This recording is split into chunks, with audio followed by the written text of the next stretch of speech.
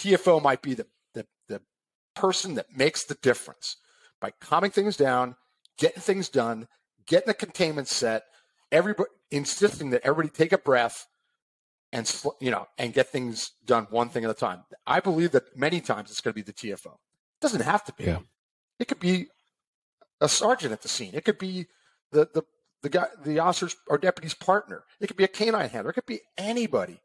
But we know and the people that are listening to this know that you're in a really unique position up there to take charge and to set that containment. It's so easy to set containment from a thousand feet. You know, on the ground, it's hard. It's possible, but it's harder.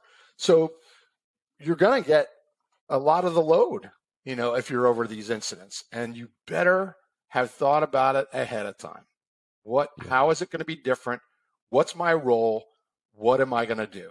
Am I going to be the leader here? Am I going to be the one that takes charge? Am I going to be the one to calm things down? I think it's important to think about that before it happens because once it's happening, yeehaw, it, it, it's yeah. crazy. It's crazy. Everybody's screaming on the radio and going a hundred different directions, and and it's not accomplishing anything. The TFO may be the person that gets that under control, and many times I think they should be the person. You, you brought yeah. something up that I really like the, the communicate or contain, communicate, coordinate. You know, and, and, Jeff, with what you said in a large incident, you know, you, you can lock down a whole city. And we talked about this in our previous episode.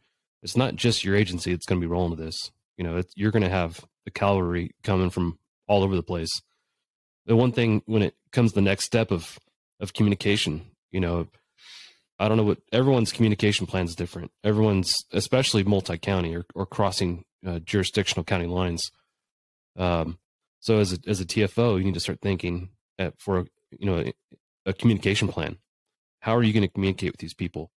How are you going to coordinate uh, who to put where? Um, so you know, I, I really can't offer any suggestions because everybody's communication plan is so different. But for our agency in our region, you know, we have uh, frequencies that we can use that are are commonly available to everybody. So you can in advance know I'm going to go to this frequency and know where that frequency is at in your radio bank. So when it comes time to get to that that that frequency, you know where you're going, and it's not it's not going to lock you up. Um, I don't know, Jack, if you guys had a had a communications plan in place. I know you did, but uh, maybe you can share some of that. We we we did, and it just depended on where you ended up. I mean, we knew that we could end up any place. Um, and because of pursuits particularly where it takes you wherever you're going to go. And we made sure that we had the long list of laminated frequencies. Everybody had them so that if you end up in uh, in san diego you could talk to somebody. Uh, but that that's i love that you brought it up john because that's something every air crew can do in advance. You can think about that in advance make sure that you do have those frequencies and you talk about it Okay, so we end up Ontario ends up in San Bernardino County tonight.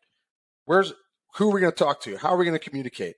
Oh, it's a oh CHP's involved. What frequency are they on? Which color? Okay, there that region is. Those are things you can think about. You know, anytime on a rainy night, and you sit there and and uh, do tabletops and say, what if we ended up here tonight with an officer down, and we and we we have agencies from all over creation that are coming in to help. Are we ready for that? Number one, are we ready for that? Do we have those frequencies? And then if you do, well, which ones are the best for all of us to get on the same page on? Are there frequencies that we can do that? Yes, there are. you know, and you highlight those, or or you do you just think about it before it happens, because people that are setting perimeters for dead cops, especially, uh, and they haven't thought about it in a while, they're going to struggle. They're going to struggle, it, and, and maybe, and maybe they'll going to struggle so much they won't even they won't succeed at all, because it's so different and stressful and and tough on you. So you got to cover the stuff ahead of time that you can. And that's a good example of something you can do right now. Every aircrew that's listening to this can say, we're going to have that discussion my next shift. We're going to talk about frequencies. And we don't have the, those frequencies. We're going to get them. We're going to talk to our avionics guy, whoever the avionics expert is, and we're going to make sure that we have all those frequencies at a at our quick disposal and the radio heads that are out there now are incredible. I mean, it's just phenomenal how how far that's come in the past few decades. That it's very easy to get off a lot of frequencies loaded in there, preloaded and ready to go.